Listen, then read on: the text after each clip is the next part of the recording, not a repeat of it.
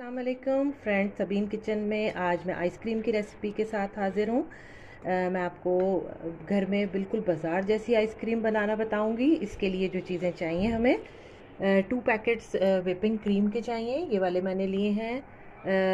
एक डब्बा जो है कंडेंस मिल्क है। Half teaspoon vanilla essence है हमारे पास। ओरियो बिस्किट मैंने यहाँ पर इस्तेमाल किए हैं। ये वाले पाँच पैकेट हैं। इनको मैंने तोड़ लिया है और ये निकाल लिया है।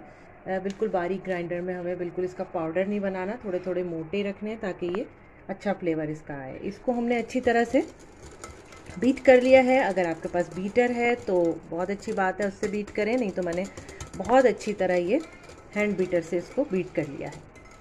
इसके अंदर हम कंडेंस मिल्क डालेंगे, चीनी की ज़रूरत नहीं है क्योंकि कंडेंस मिल्क में अच्छा खासा जो है ये मीठा होता है और हमारे पास चॉकलेट बिस्किट भी मीठे हैं। इनको हम अच्छी तरह से मिक्स कर लेंगे। इसको हमने अच्छी तरह मिक्स कर लिया। अब हम इसमें हाफ़ टी स्पून जो है, वो वनीला एसेंस डालेंगे। और ये ओयो बिस्किट का चूरा इसके अंदर, ये डाल देंगे। इसको मिक्स करेंगे। वीवर ये देखें थिक सा पेस्ट बन गया। बहुत ही यमी सी आइसक्रीम हमारी तैयार है। मिनटों में बन जाती है। अब हम इसको फ्रीज़ करेंगे कंटेनर में शिफ्ट कर देंगे। एयर टाइट हमारे पास कंटेनर होना चाहिए। कोई भी बर्तन आप एयर टाइट ले सकते हैं उसके अंदर देखें हमने ये डाल दिया है। और इसको हम अच्छे तरह से टाइट करके बंद कर देंगे और तकरीबन हमें कम से कम इसको आठ घंटे तक के लिए फ्रीज़ करना है, ताकि इसमें एयर ना जाए। इससे हमारी आइसक्रीम जो है बहुत फ्लफ़ी सी, मज़ेदार बनेगी।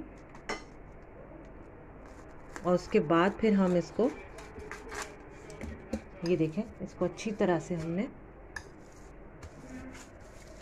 कवर किया है और फिर ऊपर से हम इसको ये ढकना ढक धक देंगे ताकि इसमें एयर ना जाए तो ये बिल्कुल स्मूथ हमारी बाज़ार की तरह रिज़ल्ट आएगा हमने जो है ओवरनाइट रखी हुई थी डीप फ्रीज़र में। अब हम चेक करेंगे, हमारी आइसक्रीम जम चुकी है।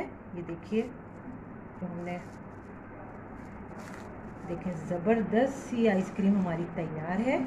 अब मैं ये डिश आउट करूँगी।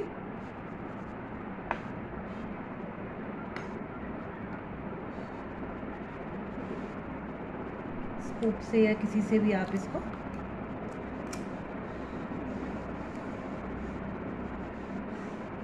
बहुत ही सॉफ्ट और मज़ेदार बाज़ार जैसी आइसक्रीम तैयार है। वीवर ये देखें, बिल्कुल बाज़ार जैसी आइसक्रीम लग रही है। अब हम अपने हिसाब से इसको चॉकलेट सिरप से डेकोरेट कर लेंगे। ज़रूर ट्राई कीजिएगा मेरी ये रेसिपी आपको जो भी फ्लेवर पसंद है, उसमें आप बना सकते हैं। प्लीज़ अगर आपको पसंद आई हो तो कमेंट्स में लिखिएगा। मेरे चैनल को सब्सक्राइब कीजिएगा लाइक कीजिएगा। अल्लाह हाफिज़।